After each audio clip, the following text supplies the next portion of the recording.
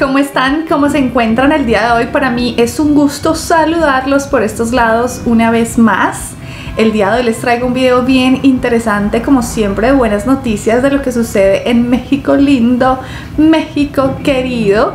Ustedes saben que siempre aquí en la descripción les dejo el link directo para que vayan y se suscriban al canal y eh, dejen su like. Al igual que dejen su amor por estos lados. Oigan, no les cuesta nada y si me apoyan un montón, porque si no me apoyan ustedes, entonces ¿quién? Ya saben que es muy fácil apoyarme, pueden dejar su like por estos lados, suscribirse al canal y activar la campanita. Recuerden que también los espero en mis otras redes sociales, TikTok, Instagram y Facebook. El título del video de hoy es Anuncian la construcción de lujosos museos para exhibir tesoros encontrados en la ruta del tren Maya. Wow, es que definitivamente hay muchísima riqueza cultural detrás de México y de todas las nuevas excavaciones y cosas que se encuentran aquí y allá. Y es que vemos un claro ejemplo de lo que sucedió, por ejemplo, con eh, la construcción del Aeropuerto Internacional Felipe Ángeles ángeles, ellos no se imaginaban encontrarse con todos estos fósiles de mamut y pues finalmente decidieron hacer también eh, un museo, ¿no? Entonces yo creo que este tipo de cosas siguen sucediendo a lo largo de México y en esta ocasión es la construcción del tren Maya y bueno pues excelente porque me parece que eso le permite resaltar la cultura y también pues brindarle eh, una mayor atracción a los turistas. Así que sin más, hagámosle a lo que vinimos, vamos. Y bueno, veamos de qué se trata.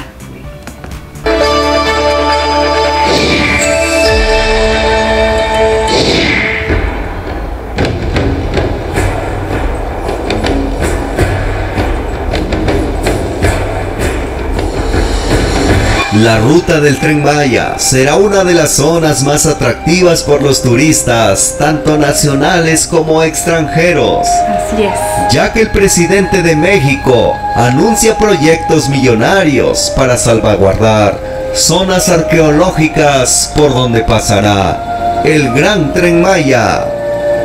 El Instituto Nacional de Antropología e Historia de México, junto con la Secretaría de Cultura, dieron a conocer los detalles del nuevo programa de mejoramiento de zonas arqueológicas llamado Promesa. Como su nombre lo dice, promete fortalecer la infraestructura de los sitios que tendrán incremento en el turismo con la operación del tren Maya, ya que habrá gran proximidad con la ruta que conectará a los destinos del sureste mexicano. Este programa tendrá una inversión total de 4.906.000 pesos. Incluirá investigaciones, conservación, infraestructura y servicios en 21 lugares.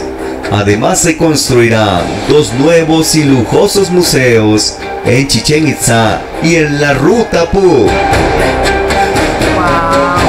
En la conferencia matutina del presidente Andrés Manuel López Obrador, el director general del INA, Diego Prieto Hernández, mencionó que la intervención del proyecto del tren Maya en aspectos de salvamento arqueológico ascenderán a 248 millones de pesos, incluyendo el proyecto Promesa.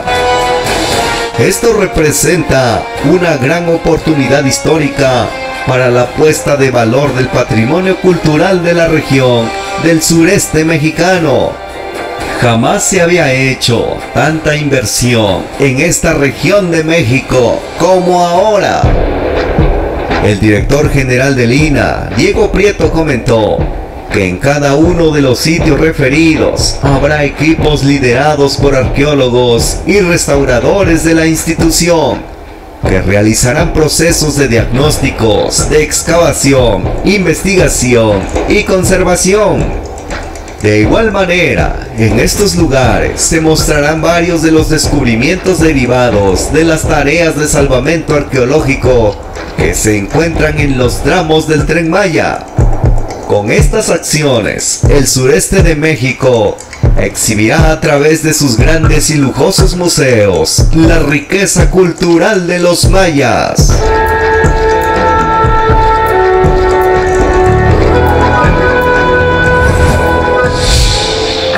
Importante investigación de salvamento arqueológico que acompaña al proyecto Tren Maya Simincac, esta relevante inversión del gobierno federal considera la implementación de un programa de mejoramiento de zonas arqueológicas denominado Promesa, que incluye acciones de investigación, conservación, infraestructura y servicios al visitante en 21 sitios arqueológicos en los que se incrementará significativamente el número de visitantes.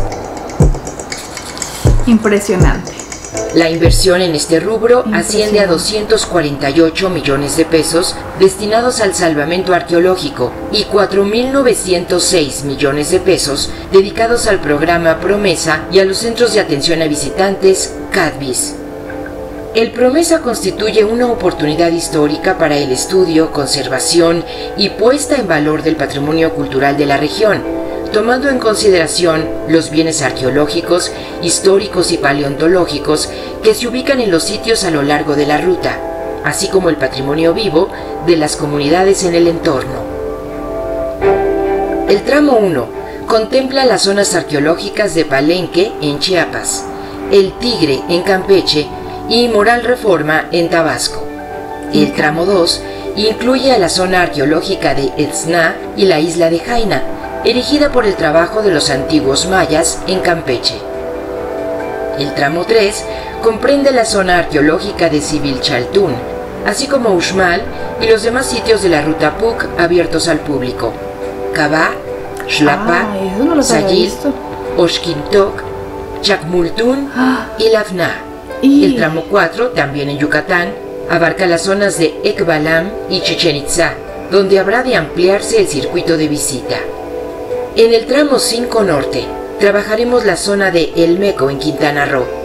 En el tramo 5 sur, consideramos las zonas de Tulum, Tancá, estrechamente vinculadas al Parque Jaguar, así como Cobá y Muyil en Quintana Roo. En el tramo 6, trabajaremos en Cojunlish, Quintana Roo. Y en el tramo 7, haremos un enorme trabajo de investigación, conservación e infraestructura para la antigua ciudad maya de Calakmul, patrimonio mundial en Campeche. En cada una de estas zonas, equipos liderados por arqueólogos y restauradores del Instituto Nacional de Antropología e Historia llevan a cabo procesos de diagnóstico, excavación, estudios arqueológicos y conservación, junto con el desarrollo de acciones para la ampliación de las áreas de visita, el fortalecimiento de las unidades de servicio y la construcción de centros de atención a visitantes. Trabajamos ya en el desarrollo de planes de rehabilitación, construcción, ampliación, renovación y mejoramiento de la infraestructura existente, museos de sitio y otros servicios. La rehabilitación de instalaciones hidrosanitarias y eléctricas, así como en la atención a las plantas de tratamiento de aguas residuales. Impresionante. Continuamos con la atención del mejoramiento de andadores y zonas de descanso con criterios de accesibilidad, así como con una nueva señalización integral en maya e inglés, además del español. De manera particular, se considera el acondicionamiento de áreas de conservación, manejo, estudio y resguardo de la inmensa cantidad de materiales arqueológicos resultado de las investigaciones y el salvamento. Trabajamos en el proyecto ejecutivo para la construcción de dos nuevos museos, con una arquitectura contemporánea integrada al contexto natural. Uno en la zona arqueológica de Chichen Itzá y otro en la ruta PUC. Y también en la rehabilitación de espacios y salas introductorias de los museos existentes, incorporando la actualización de información, recursos didácticos, explicativos, lúdicos e inclusivos, que combinen procesos museográficos tradicionales, recursos multimedia y sistemas de comunicación digitales. Las obras ya se han iniciado en la zona arqueológica de Palenque. Ah. De acuerdo al proyecto, los primeros resultados estarán listos en marzo de 2023 y en diciembre del mismo año estaremos concluyendo los CADBIS y museos para estar listos cuando el tren inicie operaciones. ¡Qué emoción! Espacios en los que también se darán a conocer los más recientes descubrimientos derivados del salvamento arqueológico o Atok Ushben Pakili, como el hallazgo localizado en la cueva del tramo 4, o el hueso de jaguar, descubierto en el tramo 2, en la zona arqueológica de Sacamucú y Campeche. O bien los hallazgos en las propias zonas arqueológicas, como el joven dios del maíz, encontrado recientemente en Palenque.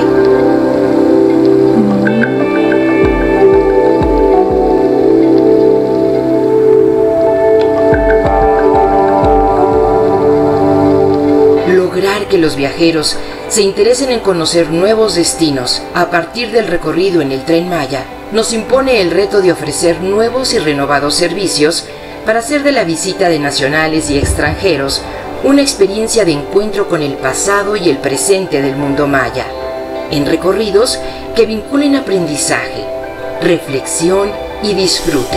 Se ve durísima la subida. Me encanta, me encanta. Siempre lo he dicho. México no para. O sea, ¿me pueden explicar esto, por favor? No paran. Hacen aquí, hacen allá, por todo lado le apuntan a todo, o sea, impresionante. Y es que esta ruta maya me la sueño, o sea, es obviamente algo que voy a hacer, es obviamente algo que estoy esperando para poder realizar. Eh, me encanta todo este tema de las culturas ancestrales, de, los, de lo que nos acerca a una posible explicación de, muchas preguntas básicas que yo siento que a veces en la vida, lastimosamente por el trabajo y por el sistema, se nos olvidan. Y es porque estamos aquí, en este planeta Tierra, de dónde venimos, por qué, para qué. Indiscutiblemente es nuestras culturas, nuestras preculturas eh, ancestrales, precolombinas, nos permiten justamente tratar de encontrar esas piezas que nos hacen falta a nosotros los humanos y poder encontrarle una explicación a cómo ellos veían la vida, a cómo ellos eh, sí respetaban el planeta Tierra, tenían tanto conocimiento a nivel astrológico, astronómico, sin tanta tecnología alineaban sus pirámides con las constelaciones, con las horas en que se ocultaba y salía el sol. O sea, hicieron un calendario maya. Al igual los aztecas también eh, nos ayudaron en muchísimas cosas que tenemos hoy en los sistemas de riego. O sea, no, es, es, es impresionante y que se vayan a dar estos espacios a lo largo del recorrido con todas estas cosas que se han venido encontrando en donde a la gente le permitan poder conocer más de estos orígenes, a mí me encanta. O sea, yo sí soy de las personas que soy ñoñas, como digo yo, ñoñas, que me gusta ir a los museos, que me gusta preguntarme el por qué, el para qué, porque yo entiendo que no toda la gente tiene como esa afinidad de los museos. Por ejemplo, mi mamá siempre dice, no, no me gusta, no entiendo para qué, no, como que no, no, no les gusta y es muy entendible. Pero en cambio, estamos los del otro lado, los, los como yo, que sí me gustan ese tipo de cosas, que siento que a pesar de, que de pronto eh, cuando estaba en el colegio no le encontraba mucho interés al tema de la historia, ya de grande sí me interesó muchísimo más por todo este tipo de cosas. Y hay muchas personas que van de turistas y sí, se toman la foto, les gusta la pirámide y todo, pero como que siento que a veces no le encuentran el trasfondo importante de, lo que de verdad deberíamos rescatar y entender. Y siento que yo sí, sí, sí me sentiría muy, muy interesada por conocer esa parte histórica y de que, repito, podamos por fin entender muchas cosas y encontrar esas piezas que nos hacen falta, que lastimosamente pues no nos las han querido entregar. Esa es mi explicación Siento que a veces nos ocultan muchas cosas los medios de comunicación y lastimosamente inclusive hasta la ciencia como tal no, no, no nos han querido mostrar muchas cosas a nivel de antropología, de descubrimientos que han hecho y, y eso nos retrasa, yo siento que eso nos retrasa en muchos aspectos. Entonces ya es hora de que nos dejen, nos dejen ser, nos digan la verdad, nos informen, porque yo siento que indiscutiblemente esto es una parte muy relevante de nuestra historia de humanidad.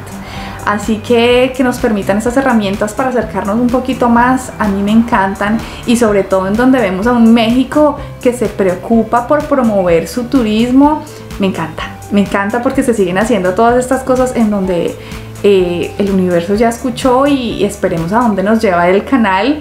Pero ustedes saben que pues imagínense, ¿quién no se imagina y quién no sueña estando en todos estos lugares? pudiéndoles eh, grabar y llevar a sus casas todas estas experiencias que esperemos que eh, pues la vida nos lo permita hacer. Así que a mí me ha encantado, espero que a ustedes también les haya gustado esta información y bueno pues puedan seguirme apoyando a ver si algún día ya se me realiza. Recuerden que si quieren apoyarme es muy fácil, lo único que tienen que hacer es dejar su like por estos lados, suscribirse a mi canal y activar la campanita. Los espero también en mis otras redes sociales, TikTok, Instagram y Facebook. Ha llegado la hora de decir mi frase favorita, ustedes ya la conocen. Mi corazón es mexicano, mi sangre colombiana. Nos vemos en un próximo video. Chaito, chaito.